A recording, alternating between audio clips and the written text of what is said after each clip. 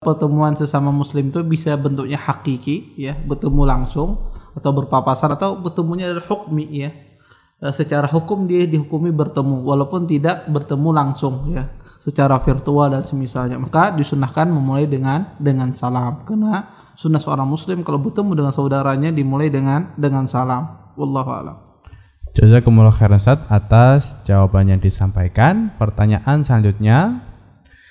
Assalamualaikum, saya mau bertanya. Amalan apa yang utama dan harus saya lakukan selama di dunia agar di akhirat saya tidak termasuk orang yang bangkrut? Karena banyak orang yang merasa dirugikan oleh perusahaan yang saya pimpin. Karena ada oknum yang jahat di dalam perusahaan yang membawa kabur uang perusahaan Ustaz. E, mengikat, mengakibatkan banyak nasabah merugi dan tetap meminta saya sebagai pimpinan perusahaan tersebut untuk bertanggung jawab. Namun sampai sekarang saya belum bisa mengembalikan karena dana yang dibawa kabur e, nominalnya besar Ustaz. E, mereka minta pertanggungjawaban, wal, mereka juga meminta pertanggungjawaban walau di akhirat. Saya khawatir saya meninggal dan belum bisa mengembalikan dana mereka. Mohon arahannya saja jazakumullah khairan. Iya, jazakumullah khair atas pertanyaannya. Saya nggak tahu ya apa yang Anda lakukan bisnis seperti apa. Tapi kalau seandainya bisnisnya itu adalah bisnis mudarabah, sistemnya mudarabah, ya saling mengasih uh, uh, modal. Anda mengasih modal, saudara Anda juga mengasih modal maka di sini kalau sistem mudharabah kalau seandainya salah satu pihak dirugikan maka pihak lain juga ikut rugi. Ya, nggak boleh satu pihak misalnya menanggung kerugian dari pihak lain, ya. Maka ini tidak tidak boleh. Inilah sistem mudharabah. Ya, maka tidak boleh ya kalau misalnya ya saya mengajak orang misalnya berbisnis, ya berbisnis. Ayo kamu nanam modal di perusahaan saya, nanam modal di perusahaan saya. Kamu nanti dapat untung sekian, dapat untung sekian. Ini namanya modal mudharabah Ketika dia tidak mendapatkan untung, maka masing-masing pihak itu menanggung kerugian sesuai dengan sebesar modal yang dia dia keluarkan ya. Sebesar modal yang dia keluarkan. Misalnya saya mengeluarkan 10 juta ya. Kemudian ada teman saya mengeluarkan 20 juta misalnya. Ada lagi yang mengeluarkan ya 70 juta misalnya. Maka yang 70 juta ya menanggung risiko ya kerugiannya sesuai dengan modal yang dia keluarkan yang 10 juta juga menanggung risiko kerugian sesuai dengan modal yang dia dia keluarkan. Maka tidak boleh ini ditanggung e, kerugian ini oleh satu orang saja. Makanya tidak tidak boleh ya tidak tidak boleh.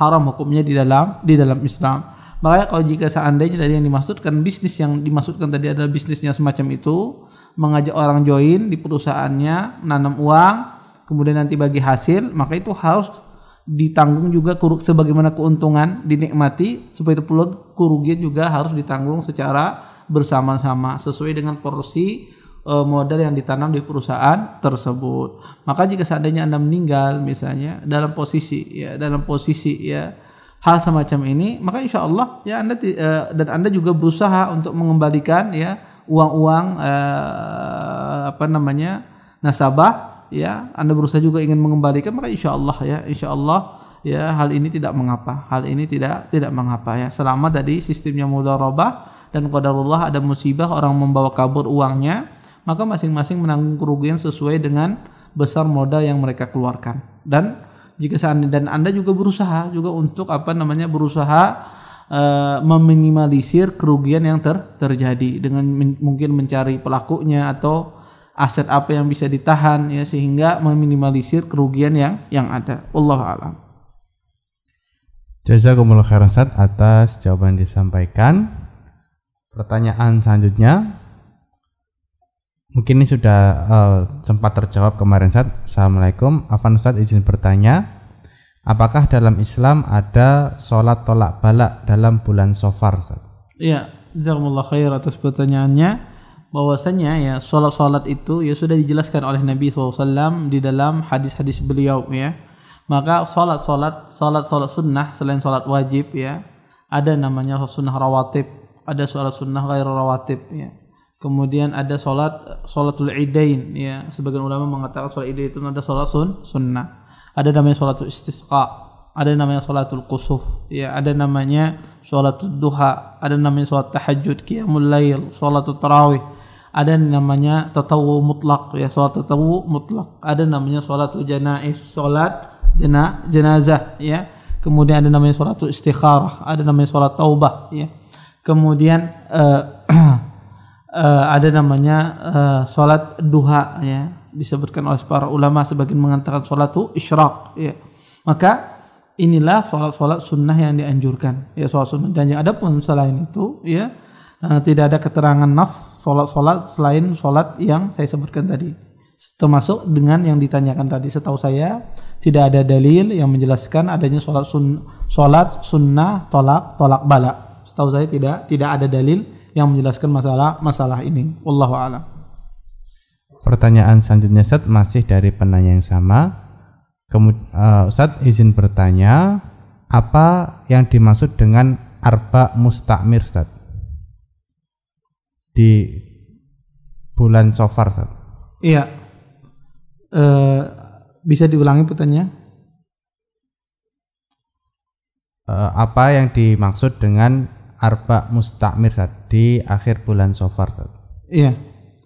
Uh, Jazakumullah khair atas pertanyaannya ya uh, apa yang dimaksud dengan arba mustakmir di bulan bulan Sofar ya. Ahlu ilmu menjelaskan bahwasanya yang dimaksudkan uh, arba mustakmir ya. Kita tahu bahwasanya orang zaman jahiliyah dulu ya memiliki keyakinan yang luar biasa pada bulan bulan Safar ya. Keyakinan uh, pada bulan bulan Safar ya yaitu mereka meyakini bahwasanya bulan Safar itu ya e, memiliki berbagai macam e, apa namanya musi musibah atau bala ya. Nah, maka e, di antara yang sering terkena kebiasaan di masyarakat kita dengan istilah arba mustamir ya. Arba mustamir itu dari kata arbi'a ya. Itu hari Rabu maksudnya ya. Hari Rabu terakhir dari bulan bulan Safar. Yang dipercaya sebagian orang itu sebagai turunnya bala ya. Sebagai turunnya berbagai macam bala ya. Ini yang disebut dengan istilah arba mustamir ya. Arba mustamir yaitu sebagai turunnya ba bala ya. Atau yang di istilahnya kalau orang di luar Kalimantan istilahnya rebo wekasan ya apa istilahnya? Wekasan. Wekasan ya. Semacam itu ya. Uh, maka ini uh, keyakinan oleh sebagian orang yang mana keyakinan ini adalah keyakinan yang keliru ya. Keyakinan yang tidak tidak tepat ya. Kenapa? Karena Nabi SAW mengatakan ya tidak ada hal semacam itu ya. Tidak ada semacam semacam itu. Karena semua bulan itu sah, sama. Dari bulan Muharram sampai bulan Julhijjah itu sah, sama ya. Tidak ada bulan itu di antara bulan-bulan tersebut yang membawa membawa kesialan ya membawa kesi kesialan. Maka semua bulan itu sah sama di dalam is Islam ya. Maka tidak boleh seseorang mengaitkan ya e, kesialan ya dengan satu bulan tertentu. Yang mana zaman dulu orang jahiliyah ya mereka juga mengait e, mengaitkan e, berbagai macam penyakit itu pada bulan bulan Safar ya pada bulan bulan Safar. Ya sehingga orang-orang jahiliyah dulu ya memiliki keyakinan bahwasanya di bulan Safar itu juga bulan-bulan yang e, berbagai macam e, diturunkannya musi musibah. Dan ini dilarang oleh Nabi Wasallam ya Nabi Wasallam ya menjelaskan di dalam banyak hadisnya ya tidak ada ya e, tatayur semacam ini. Ya tatayur e, mengaitkan sebuah e, peristiwa sesuatu ya yang jelek ya dengan bulan ataupun dengan dengan hari. Yang ini diistilahkan dengan tatayur di dalam di dalam Islam. Dan ini tidak tidak boleh. Maka semua bulan di dalam Islam itu semuanya ba baik.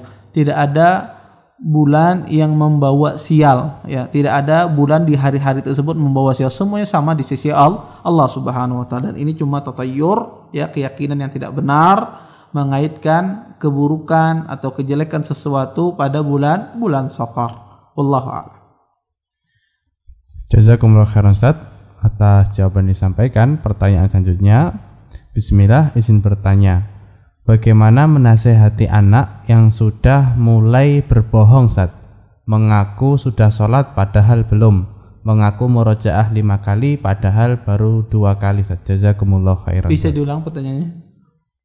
Izin bertanya, bagaimana menasehati anak yang sudah mulai berbohong? Mengaku sudah sholat padahal belum. Mengaku murojaah lima kali padahal Iya. baru dua kali. Ya jazakumullah khair. Ya, ketika anak itu mulai berbohong, maka jelaskan tentang hukuman orang berbohong, ancaman orang ber berbohong. Maka dari sejak kecil kasih tahu anak tersebut ya.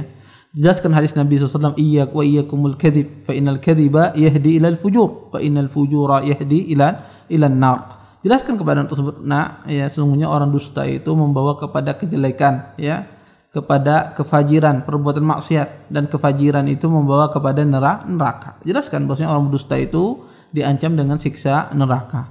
Maka anak itu kalau ditanamkan eh, takut kepada Allah Subhanahu wa taala, maka dia akan menghilangkan akan hilang sifat kadzib pada diri dirinya. Kemudian yang kedua adalah seorang orang tua memberikan contoh ya juga kepada anaknya, selalu menepati janji ketika berjanji sama anaknya Ya jangan juga orang tua ketika melarang anaknya berdusta tapi dia tidak menepati janji ketika dia menjanjikan kepada anak-anaknya maka tepati ya. Dengan itu sang anak tersebut belajar dari orang tuanya baik itu dan secara teori dan secara praktek dia belajar langsung dari orang orang tuanya. Maka tanamkan kepada anak itu bahaya besarnya dosa ber- berbohong atau ber- berdusta. Maka penting ya bagi kaum muslimin ya mengajari anaknya dari sejak kecil. Katakan yang batil itu batil. Ya ajari anak itu dari sejak kecil itu ini batil nak. Ini salah. Ini keliru nak. Ini benar nak. Ini yang betul. Ini be- katakan jangan tidak disamar-samarkan. Jelaskan. Ini salah nak. Ini yang batil. Ini yang yang hak. Ini syirik nah ini yang betul mentauhidkan Allah Subhanahu wa taala. Dari sejak kecil tanamkan. Karena musuh-musuh Islam itu berusaha pendidikan anak itu agar disama-samarkan sang anak tidak boleh memponis dari sejak kecil. Ini salah ini benar. Ya ini baik ini buruk. Ini salah. Di dalam Islam sudah dijelaskan. Mana baik mana buruk. Mana benar mana sah salah. Maka orang tua wajib ya menjelaskan kepada anaknya ini benar nak ini salah. Ya perbuatan dusta itu salah bohong. Itu berdusta itu tidak boleh. Diancam pelakunya dengan siksa api api neraka. Jelaskan.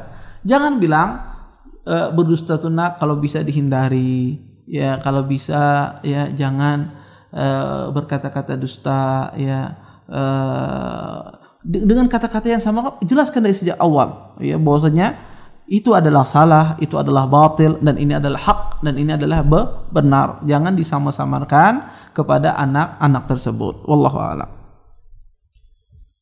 Jazakumullah khairan Ustaz. Pertanyaan selanjutnya, Ahsanallahu ilaikum Ustaz. Ana mau bertanya, apa hukumnya kita memanjangkan rambut? Apakah itu sunnah atau mubah? Dan bagaimana jika kita memanjangkan rambut dengan niat meniru Nabi Sallallahu Alaihi Wasallam? Apakah saya mendapatkan pahala? Jazakumullah khairan Ya, jazakumullah khair atas pertanyaannya. Pertama ya, eh, memanjangkan rambut itu hukumnya mubah ya. Hukumnya mu, mubah ya. Dan hukum mubah di sini dilihat kondisi masyarakatnya. Kalau seandainya urupnya di masyarakat tersebut orang panjang rambut ya, orang panjang rambut tersebut urupnya jelek, konotasinya jelek di masyarakat, maka sunnahnya Anda adalah memendekkan rambut Anda. Sunnahnya adalah memendekkan rambut rambut Anda. Kalau seandainya panjang rambut, kondisi di sebuah masyarakat misalnya dianggap orang nakal, dianggap tidak bagus, dianggap tidak rapi, dianggap tidak baik, maka sunnahnya Anda memendekkan rambut Anda. Tapi jika seandainya urufnya di sebuah masyarakat, ya kondisi di sebuah masyarakat orang memanjangkan rambut itu biasa-biasa saja, maka tidak ada masalah di sini Anda memanjangkan rambut. Di sini hukumnya sifatnya mubah. Adapun alasan memanjangkan rambut karena mengikuti Nabi SAW, maka ini harus dilihat ya. Kenapa Nabi SAW memanjangkan rambutnya? Karena adatnya kaumnya pada saat itu memanjangkan rambut rambutnya sampai ke ke bahu ya, sampai adatnya pada semacam dan Nabi SAW berusaha mengikuti adat kaum kaumnya selama tidak bertentangan dengan syari syariat. Maka Anda melihat bukan dari sisi memanjangkan rambutnya tapi melihat dari sisi apa? Maksudnya tujuannya apa? Menyerupai berusaha tidak menyelisih adat kaum kaumnya. Maka Anda lihat kalau adat di kaum Anda orang yang tidak senang panjang rambut, maka di sini Anda sesuai dengan sunnah. Ya ketika Anda memendekkan ram, rambut, di sini Anda sesuai dengan sunnah. Kenapa? Karena Anda mengikuti Nabi Sallam, mengikuti adat kaum kaum yang selama tidak bertentangan adat tersebut dengan syariat syariat Islam. Adapun orang memanjangkan rambut karena Nabi dulu pernah memanjangkan rambut, maka di sini dia tidak dapatkan pahala sunnah. Ya tidak mendapatkan pahala sunnah karena memanjangkan rambut itu bukan sebuah sunnah. Tetapi kalau anda melakukan demikian karena cinta dengan Nabi SAW, anda mendapat pahala dari sisi mahabbah, sisi cinta kepada Nabi SAW, bukan dari sisi memanjangkan rambut rambutnya, bukan dari sisi memanjangkan rambut rambutnya. Tentu saja ini dengan syarat tadi ketika adat di sebuah kaum tersebut e, tidak mengapa orang berambut panjang, tidak dikatakan orang tersebut orang yang e, nakal atau semisalnya maka biasa ya di adat kaum maka tidak ada masalah. Tidak ada masalah orang memanjangkan rambut. Tapi jika sebaliknya adat di sebuah kaum bagusnya dipotong bagusnya dipendekkan maka sunnahnya ada dipotong atau dipendek dipendekkan. Karena anda di sini bersesuaian dengan Nabi saw yaitu sesuai dengan adat kaumnya selama tidak menyelisih syariat. Allah a'lam. Jazakumullah khairan atas jawaban yang disampaikan. Uh, mungkin Anda bacakan pertanyaan terakhir Sat. Assalamualaikum warahmatullahi wabarakatuh. Waalaikumsalam. Mohon bertanya Pak Ustadz tentang bisnis yang modalnya dibawa lari seperti penanya di awal tadi Ustadz. Uh, yang modalnya dibawa lari oleh salah satu partner usaha. Yang saya tanyakan, kerugian tersebut ditanggung ber ditanggung bersama berapa ukurannya Ustadz? Karena saya juga mengalami seperti penanya tadi Modalnya sebesar 100 juta dibawa lari oleh salah seorang oknum tersebut dan apakah itu berarti yang membawa lari punya hutang kepada pemilik modal karena yang membawa lari hanya menjalankan usaha tersebut dia tidak ikut menanam modal mohon nasihatnya Ustadz Iya, jazakumullah khair. Iya, yang jelas yang membawa lari itu adalah penipu, ya. Yang membawa lari itu adalah penipu. Dia wajib mengembalikan. Nah, adapun berapa ketanggung uh, di uh, kerugian ditanggung masing-masing disesuaikan dengan besaran modalnya. Contoh misalnya an, uh, modalnya ada 100 juta. Dibawa lari misalnya uh, 80 juta. Nah, tersisa apa? 20 juta. 80 juta ini di bawah. Ya, saat itu kita mengumpulkan uang 100 juta misalnya. Kemudian dia ambil di bawah lari 80 juta. Yang tersisa masih berapa? 20 20 juta. Nah, 20 juta ini dibagi ya uang yang tersisa ini dibagi dengan jumlah banyaknya modal yang ditanam. Misalnya persentasi yang menanam modal 30 juta dari 100 juta itu maka dari 20 juta ini akan lebih besar daripada persentasi yang menanam modal 10 juta. Misalnya saya kasih contoh. Ada orang menanam modal 10 juta 30 juta dan 70 juta. Ada tiga orang partner anda ya. Tiga orang di sini. Anda punya modal 70 juta ada teman Anda 30 juta, ada yang satunya 10 10 juta. Nah, uang 100 juta ini qadarullah dibawalah lari. Yang dibawa larinya berusaha sebesar 80 juta misalnya. Maka ada tersisa misalnya dari uang itu 20 ju 20 juta. Nah, 20 juta ini ketika Anda bagi, ya Anda bagi, maka bagilah sesuai dengan jumlah modal yang dimasuk dimasukkan. Maka bagian yang 70 juta ini lebih besar ketika dia mengambil di 20 juta. Sebab itu juga bagian 30 juta ini lebih besar daripada uh, bagian 10 10 juta dan dia lebih kecil daripada yang 70 70 juta sesuai dengan presentasi modal yang dia dia tanam ya semacam itu. Tapi kalau seandainya uangnya sudah habis semua di bawah tidak ada yang tersisa, ya sudah nggak apa yang mau dibagi. Ya masing-masing semuanya menanggung keru kerugian.